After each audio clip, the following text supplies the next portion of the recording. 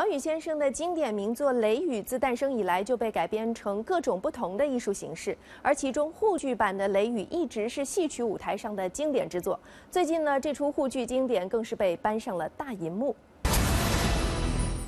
六月二十七号，由上海沪剧院院长毛善玉领衔的沪剧电影《雷雨》正式登陆大银幕。这部影片集合了老中青四代沪剧演员共同演绎，故事以毛善玉饰演的樊姨为主要视角，揭示了周家两代人的爱恨纠葛。影片不仅保留了舞台版本中的《花园会》《四凤独叹》等经典唱段，还展现了许多在舞台上未充分展示的原著中的经典场面。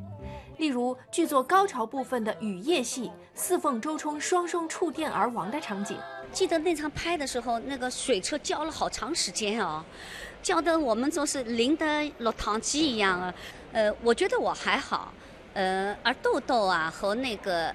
金世杰一个那个周冲，他们两个年轻人苦死了，因为那个雨啊一直没有浇好，浇的不太均匀。但是好像更加走进这个人物了，真的那种那种悲凉感油然而生。